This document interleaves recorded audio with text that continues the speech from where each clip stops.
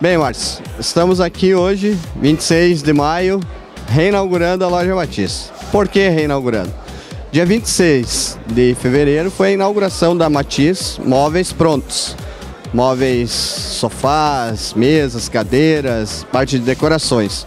Hoje, na parceria com a Cunha Brasil, fabricante de móveis sob medida, a Matiz, juntamente com todos esses essas pessoas trabalhando para o público de balneário e região, desde do, do, do, tapete, da decoração, do sofá.